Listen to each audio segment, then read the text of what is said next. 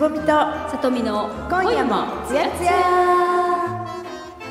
はいここ最近週末のたんびにあまりお天気良くなかったですよね。ね土日雨が多かったですよね、うんうん。なんか今日は久しぶりに晴れ間を見ましたね。そうですね。ね朝曇ってたんで、はい。あまた今週もだと思っていたら うん。晴れてきてよかった。ちょっとよかったね暑いぐらいですね。あそうですね、うん。はいで先週なんですけど、ええ私北海道に行っていました。うんうんうんうん。でね出発の日こっちすっごい雨だったんですよ。ああそうなんですか。そうなの、ええでまあ何日間かいて、ええで帰ってくる日ですよね、うまたこっち雨だったんですよ。ん 向こうは良かったんですか？そうすごくいい天気でした。ううん、ん。ねえこっち平日は逆にねかなり暑かったんですよね。らしいですね、うんうん。うんうんそうあの気候の良い北海道から、え関東の天気予報をねいつも見てたんですけど、ええ。まだ5月なのに、うん。30度近い気温でしたよ。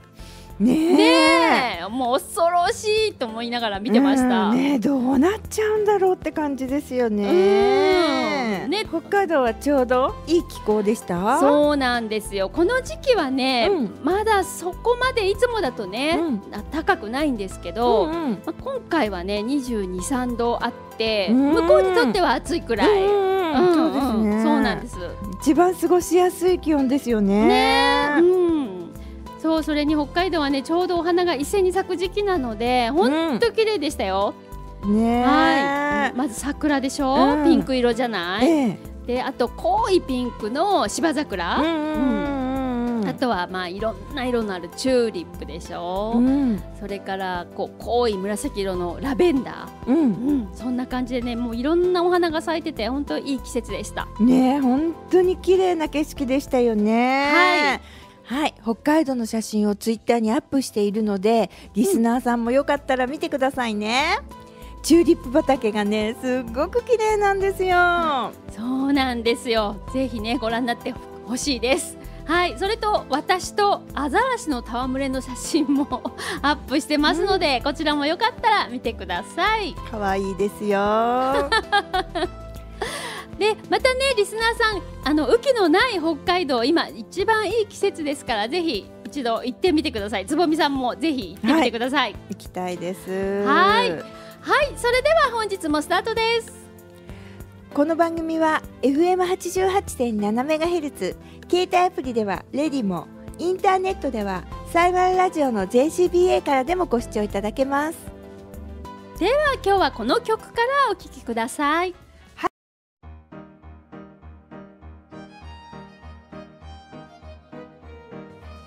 ねえねえつぼみさん。はい。天の川って見たことある？ないんですよ天の川。そうなんだ、うん見たいんですよ。えー、そっかそっか、うん。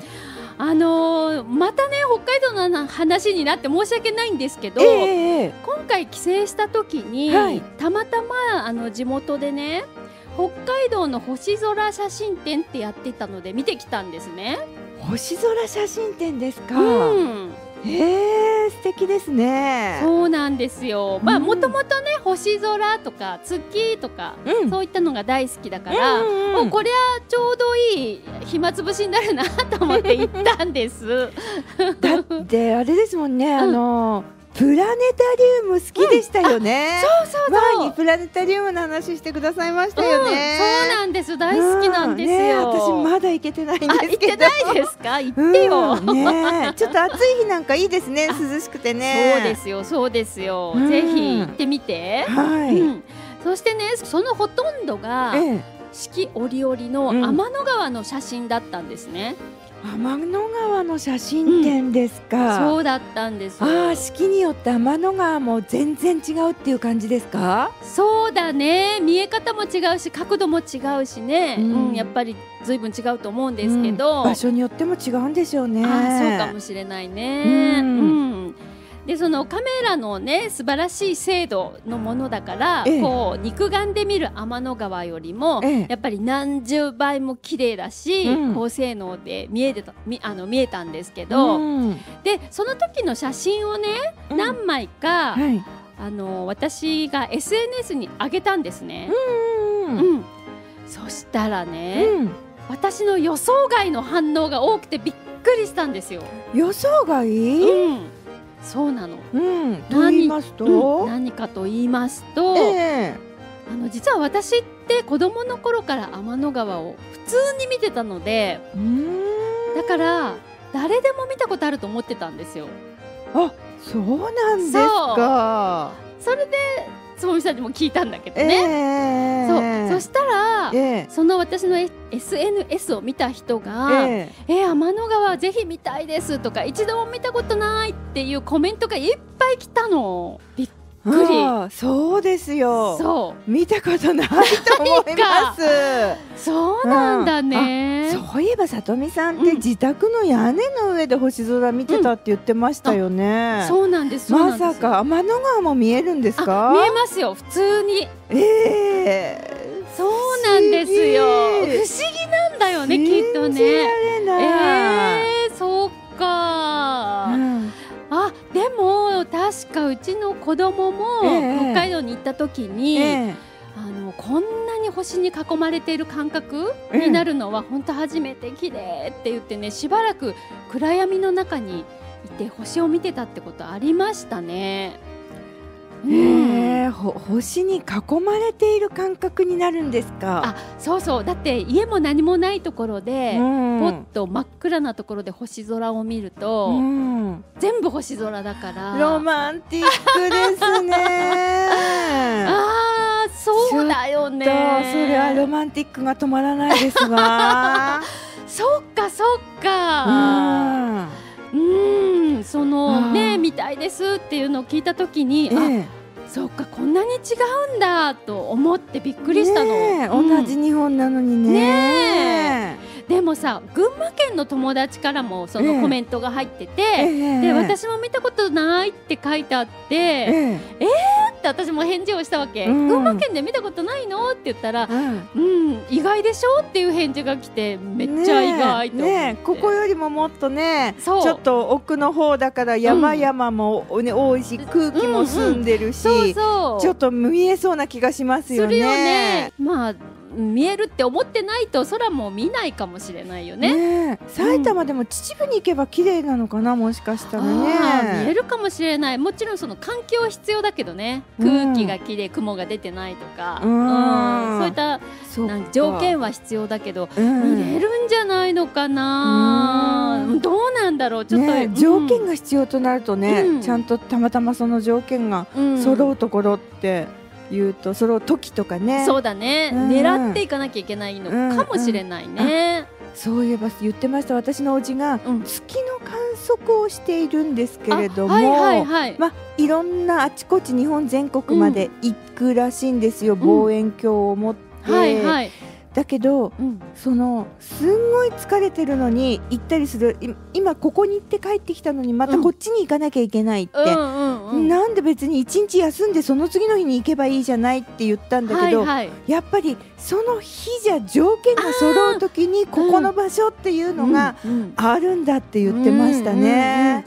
そうなんだろううんねやっぱりねそうか誰でもね見れると思ってた私のね人生だったんですけどまだまだちょっと考えが浅かったですね。ねえ、は都会に住んでたまあ私都会に住んではいないですけど。いや十分都会ですよ。うん。うんないですよね。そうだねぜひ機会あったら見てください。ねえ死ぬまでに一回は見たいです。死ぬまでそんなね大げさなもんじゃないと思うよあ。そうなの、うんそうそうそうだって今までね、うんこんな何十年間も見れなかったんですからね。きっとね空を見上げてないだけっていうのかもしれないしうね。んはいここで問題です。はいいきますよ。はい。天の川を最初に発見したのは誰でしょうか？えー、最初にはい。はい。これね名前を聞けばあーって思いますよ。え えー、なんでそでの星とかに、空に精通してる人ですか？そうですね。ねえはい。昔観測をしてる。観測してる人、昔の人？はいえ 生きてる人ですか現在？生きてないです。そうですよね、天の川を発見したのは1609年ですからね、えー、生きてないと思いますよ、1609 年。はい。わかんないね。わかんないです、うん、えっ、ー、とね発見した人は、えー、これは聞いたことあります。ガリレオ・ガリレイでした。あガリレオって物理学者の人ですか、うん、そうです、えー、はい。ガリレオ・ガリレイは望遠鏡を使って天の川を観測して、えー、えー、無数の星の集まりであるっていうことを確認したのが1609年だそうです。そう。実はその前に、えー、天の川っていうのあのっていうその遠く離れた星星々からなっているものがあるって最初に言っていたのは、えー、えー、紀元前400年の頃のの学者でデモクリトス。なんか聞いたことあるよね ないです。ないですか？デモクリトスさんが、えー、であのこういう星が重なってるところがあるって言ってたらしいんですよ。でそれをガリレオ・ガリレイが望遠鏡を使って初めて発見した、それが1609年あと思ったんですかね。あそうじゃないですかね。これが天の川だなと思ったんじゃないですかね。ねなんとなく見てたんですかね。少なも探してたんですかね えこういう人って探してんじゃないの？そうですね、うん、常に研究してるんでしょうね。私たちみたくたまたま見れたっていうんじゃないと思います。はいということでねいずれにしても大昔から人は星空に見せられていたんだなってことですよね。ロマンを感じますね。そうロマンといえばさ、ええ、以前も話したことあるんですけど、え、夜空の星に名前がついてたじゃないですか、はいはいはい、いろいろと。はいはいはい、でそれはねほとんどがギリシャ神話に基づいた18禁18歳禁止ですよ、はい、18歳以下か。禁止の、はい神話物語でできているっていう話知ったの覚えてます？あのプラネタリウムの話の時ですよね。そうですそうです。18金プラネタリウムっていうのを見に行って、えー、見に行ったって言っててね、うん、そう、うんだからロマンなんですけども、うん、なんかそう言うとね ロマンがちょっと違う方向に行ってしまうような感じですよね。うん、まあロマンがあって18金っていうのもあるんですけど、まあうん、ちょっとドロドロした世界でもあるっていうねそんなプラネタリウムのお話を前回、前回ちょっと前にね、したことがあります。まあでもとは言っても星空には大人のロマンが散りばめられているっていうことにしましょうかね。はい。はいでは今日の2曲目はこちらです。君は星空に輝いているんだよって歌った曲です。Coldplay A Sky Full of Stars さて話変わりますけど、はい、あの世界の空港に降り立った時ってなんか匂いって感じません？うん。匂い違いますよね、うん、なんかしますよね。するよね、うん、うん、ハワイとか、うん、なんか甘ったるいような匂いしないですか、うんうんうん、しますね。ココナッツみたいな。そうそうそうそう、う。んうん、するする。そう。あと、どこだろう。なんか眉間にしわ寄ってるけど。ねえ、なんかそうそういろんなありますよね。匂いその国によってね、うん、でね日本に来た外国人はよく醤油の匂いがするっていうそう。あそうなんですか、うん、そうなんです日本の空港って醤油の匂いがするんですそうなんですって。えー、ね、住んでる私たちにとっては分かんないですよね、うんうん。うん、あでそれはレストランがとかあ,、うん、あるからかな。まあそういうところからも匂いが漂ってくるっていうのも少しあるかもしれないけど、ね、だって醤油の匂いがするって言ったらおせんべい屋さんのね、うん、はいはい、とこ前通ったりするとしますけどね、あ、お蕎麦屋さんとか。はするけどね、うん、えー、そんな強烈なんですか 醤油の匂い。強烈かどうかわかんないけど、まあ、私たちが外国で感じるのと同じように、うん、外国の方はこっちに来ると感じるらしいですよね。えーえー、そうなんですね、うん、あの実はね先日読んだ冊子にこの話が書いてあってね、はいえっとね、これを書いた人はすで、うん、えー、にその国に向かう飛行機の中でもうその国の香りが感じられると。ああ、うんうん。え例えばでもだな、うんうん、日航機でその国に向かうとか、うん、そういう時は感じないですよね。うん、その国の飛行機の中にはもう、はいはい、その国の人の、あのねキャビンアテンドさんとか乗ってはいはいるしはいはいはいはいそう匂いがするのかもしれないですね。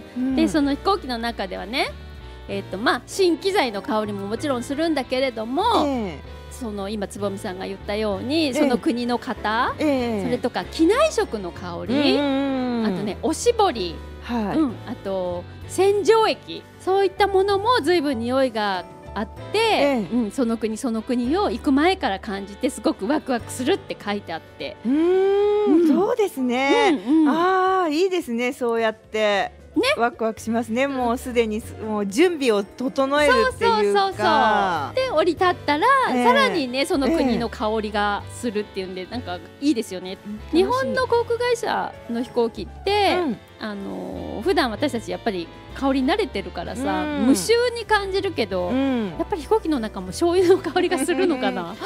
ねえお弁当っていうか食事機内食、機内食がね、うんうん入ってますからね。そうだよ。ね。うん、私たちからもするのかな、醤油食べることが多いからねそうだよ自分自身かねらもね。うんするのかもしれないね。ねうん私がやっぱり一番感じるのはやっぱりインドはうん。汗と香辛料、え。うん。ねネパールはね香辛料も匂いするけどヒマラヤの香りがした。もうイメージだよきっと。どんな香りなんだヒマヒマラヤって？ヒマラヤ山脈？い、そう、うん。もうそこにヒマラヤがあるって思ってるから、そういう香りに感じるだけなのかもしれないけど、とさヨーロッパスえ。えペインとか、そういったところはどんな香りだったかな？あんまりはっきり覚えてないけど、うん。とアジアで言えば香港は八角のようななんか油のような、八角強烈ですからね。ですよね。う。うん。んまあね今空港もすごく綺麗になってるからちょっうん。とそこまではしないのかもしれないけど、うん。でもこういうのがあるとやっぱりアジアの方が匂いがする、強そうですようねんのかも韓国は韓国キムチの匂いとかするのかな？どうだったっけ、ねえ。あでもするのかもしれない、ねえ。うんうんうん。まあそれが悪いんじゃなくって、うん。この旅の気持ちを高ぶらせてくれるっていうか、うん。うん。私は好きですけどね、うんうんそうですね。そうワクワクする感じがある、うん。そういえば、うん。ちょっと匂いの話なんですけど、えあの今日カフェでねええ。ちょっとお仕事をしてたんですね、はい。そしたら隣の席に座った人がちょっと汗臭くえの。でもあこれちょっと強烈と思ってえさすがにもうそこに私いられなくっえてカフェを出たんですけおどー。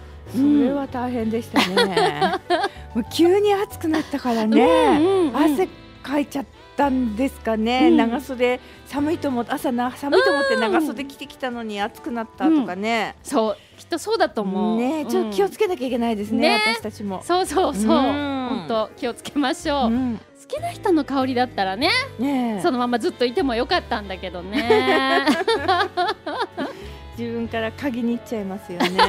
行っちゃいますか？でもね私あ匂いフェチとかでないので、はいはいはい。匂いってあんまり気づかないことが多くて、うん。よく好きなねうん。芸能人とかにね、はい。会ったりする機会があるじゃないですか。うんうん。と他の人が、うん。あーすっごいいい匂いだったわって言ってるんだけど、私それを感じたことがなくって。だからあじゃあ次に行った時には、うん。匂い嗅ごうって思うんだけど まあいつも忘れてしまって そのその人がいい匂いっていうのはうん全然私の印象にはないんですよ。あそううなんだ、んうん、あだからやっぱり好きな人だから匂い感じるんじゃないの、そうなんですかそね。の人のそばに行くと、あうん。この匂いこの匂いってなんかあるんじゃない、うん、この人の匂いっていうのがうんうんうん。ね。多分そうなんじゃないのかな、ねえ。そっかも感じたことがなくって。わざわざ鍵に行ってる人もいるのかもしれないよね。あーそういう人もいますよねきっとね。うんきっとね。うん。かうん。えじゃあその芸能人じゃなくて、うん。本当に好きな人、あ本当に好きな人？うんうん。そういえば、うんうん。そうそうそうありましたよね心地いい香りっていうのがね。あそれそれいい表現。心地いい香りだよ、うん。そうそう。いい匂匂いというんじゃなくて、うん。心地いい香り、うん安心できる香り。安心する、うんうんそうお布団に入った時に、うん。安心する香りってありましたよね。うん。そうだね、ううん。ん。匂ねいフェチの話になっちゃいましたけど。はい。匂いも奥深いですよね。はい。では今日3曲目になります、えー、間もなく本格的に始まる夏に向けてこんな曲ご用意いたしました。パフィーで渚にまつわるエトセトラ。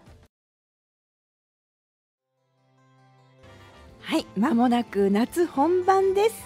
あなたの夏にまつわる話や聞きたい曲を教えてください。私たちの過去のトークはラジオカーゴへ公式 YouTube に載っています。ぜひこちらもお聞きください。はい私たちへの質問コメントをお待ちしています携帯アプリではレディモに表示されている番組名のつぼみとさとみの今夜もつやつやをタップしていただくとツイッターに飛ぶことができますそのままレディモにコメントを書いてくいただくこともできます。この番組のお相手は元アラフォーアイドルのつぼみと時々和太鼓奏者さとみでした。この後も引き続きラジオカーゴイをお楽しみください。